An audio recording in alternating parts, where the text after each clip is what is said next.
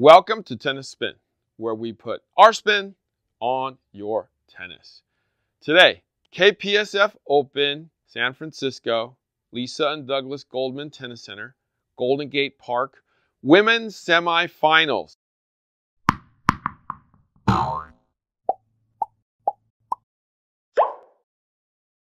We got Urszula Radwanska versus Michaela Gordon. Check it out.